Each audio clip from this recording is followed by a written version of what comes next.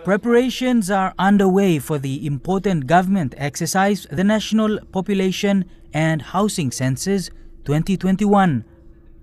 The National Statistical Office, designated to deliver the country's headcount, has begun training for its senior officers, who will then move into the provinces to conduct further trainings for those that will collect the data of heads per household. Training was more hands-on for the trainers, uh, sorry, the trainees.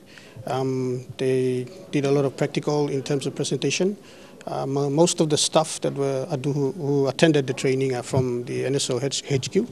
Um, they hardly had any experience in planning and especially uh, public speaking. The last census was conducted in 2011 after numerous delays.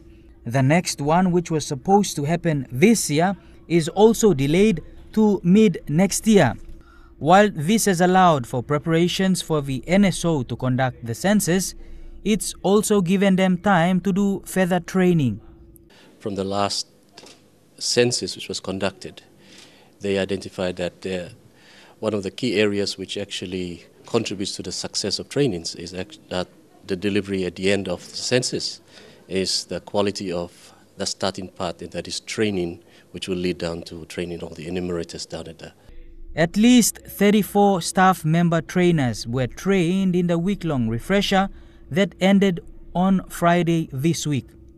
They will later move out into other parts of the country to further the knowledge and skills to the others. Bradley Valenaki, National EMTV News.